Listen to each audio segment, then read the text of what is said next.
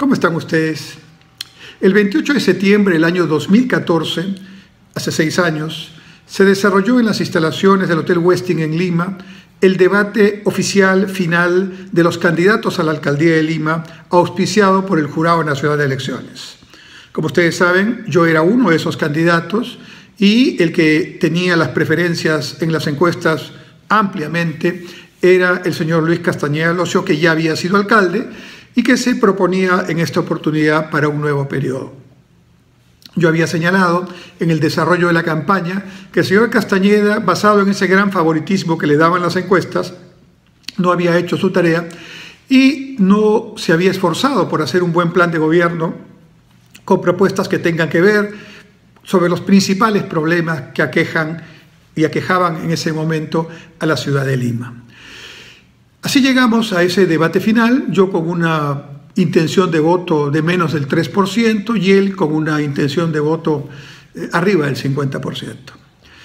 Eh, el debate eh, tenía un mecanismo de participación en el cual en uno de los momentos un candidato debatía con otro haciéndole una pregunta y viceversa. A mí me tocó en sorteo precisamente debatir con el señor Castañeda. Y entonces me preparé también para esa ocasión, sobre todo para poder encajar en cinco minutos apenas eh, propuestas y preguntas de una manera adecuada. El señor Castañeda eh, tampoco creo se preparó para el debate, muy confiado, como digo, en esta circunstancia de sentirse ya ganador. El video que van a ver a continuación es el desarrollo de esos cinco minutos que tuvimos el señor Castañeda y yo en el debate. Como todo debate, tiene sus momentos de pullas, de situaciones anecdóticas, pero lo principal es el contenido. Y yo lo que sostuve en ese momento eh, era que la principal propuesta, la novedosa propuesta que había desarrollado el señor Castañeda de hacer un monorriel en Lima no era ni técnica, ni legal, ni posible eh, de desarrollar porque habían ya otras obras que estaban superpuestas en ese recorrido y costaba un dinero que Lima no tenía y podía dedicar a otras eh, tareas importantes. El señor Castañeda eh, no consideró importante mi planteamiento e incluso hasta tuvo una participación en la que no le daba mucha seriedad a las preguntas que yo realizaba. Lo cierto es que pasados los años y ahora mirándolo ya con tranquilidad, lo que yo decía se cumplió. Ese monorriel nunca se hizo y nunca se podía hacer porque en realidad fue una improvisación que hizo el señor Castañeda para tratar de salir al paso de ese planteamiento que yo había hecho luego de hacer un buen estudio de que sus propuestas no tenían en cuenta la situación real de Lima y su futuro. Como consecuencia de ese debate, eh, nosotros subimos en los siguientes días casi 15 puntos y terminamos prácticamente en 18% en la elección del siguiente domingo, eh, logrando el segundo lugar y una gran expectativa. El señor Castañeda ganó, pero en ese debate se demostró que no había trabajado seriamente sus propuestas e incluso, digamos, el debate mismo. Veámoslo a continuación. Cinco grupos de dos y un grupo de tres candidatos. Es el turno a continuación de la dupla integrada por el Partido Aprista Peruano y el Partido Solidaridad Nacional. Señor candidato del Partido Aprista, por favor. Al lado de allá, por favor. Ingeniero Cornejo, al lado de allá. Al lado de allá, por favor, ingeniero Cornejo. Allá. Gracias. Señor Castañeda, al lado de aquí, por favor. Si es tan amable. Bien. El candidato del Partido Aprista Peruano pregunta sobre las propuestas del Partido Solidaridad Nacional durante un minuto. Adelante, por favor. Señor Castañeda, durante su anterior gestión, usted hizo obras que todos reconocemos. Las escaleras, el Hospital de Solidaridad, son obras que están dando servicio a los ciudadanos. Pero de la misma manera, usted creo que debería reconocer que en esta elección usted no hizo bien su tarea.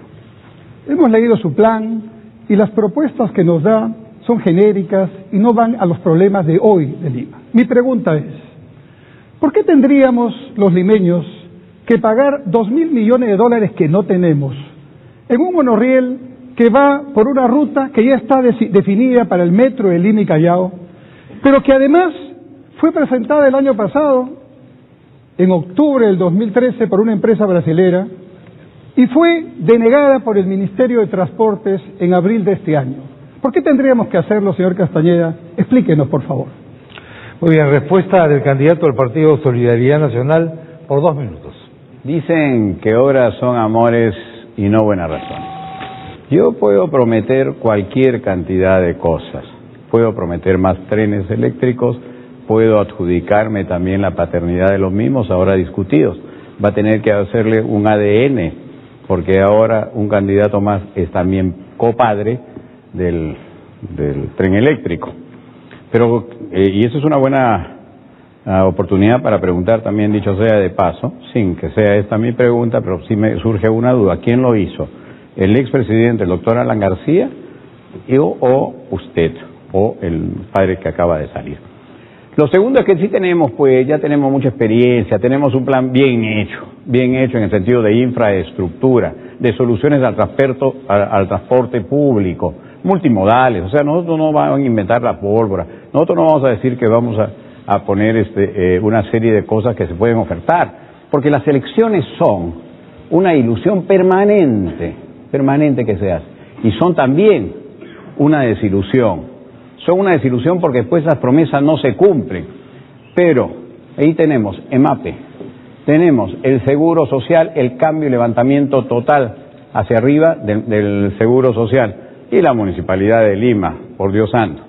Podríamos elaborar el mejor plan, y lo tenemos, pero sobre todo que él sí apunta a la gente, él es real, es basado en una experiencia exitosa de gestión. Seguiremos dentro de esa línea, no vamos a engañar las cosas a la gente, vamos a ser reales, vamos a ser objetivos, vamos a cumplir, a cumplir cada palabra que nosotros decimos, cada oferta que hacemos, pues las vamos a cumplir. Tenga usted la certeza, señor televidente, señora televidente, que cumpliremos todas y cada una de nuestras promesas.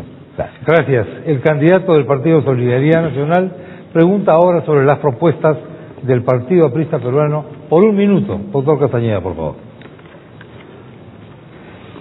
Eh, señor Cornejo, usted quiere manejar la ciudad de Lima, que está próxima a los 10 millones de habitantes, ¿verdad? Hace muchos años y justamente acaba de ocurrir un, sismo, ¿verdad?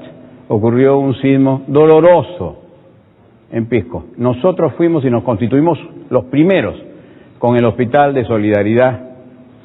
Fuimos también llevando agua, víveres, silenciosamente como siempre ha sido nuestro estilo. Yo le pregunto a usted, ¿cuánto se ha reconstruido Pisco? Usted fue ministro entre el 2002 años, 2007 y 2008.